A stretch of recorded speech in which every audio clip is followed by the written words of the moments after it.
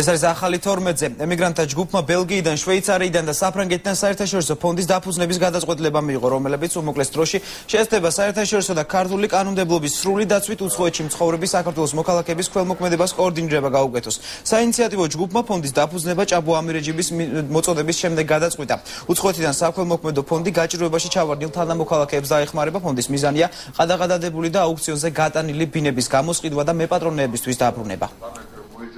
გამოსავალი და რაღაც მომებავისაც ჩვენ ყველანაირი კანონის ჩარჩოებში ვაფუძნებთ რამ ასოციაციას შევეცდებით ასევე ევროპული და საქართველოს კანონმდებლობის დაცვით კოორდინირება გაუკეთოთ ამ ქველმოქმედ ადამიანთა თუ ორგანიზაციათა ქმედებებს და შევეცადოთ შეუმსუბუქოთ ჩვენ რიგით მოქალაქეებს ჩვენ ხელისუფლებისაგან დაჩაგრულ მოქალაქეებს ცხოვრება.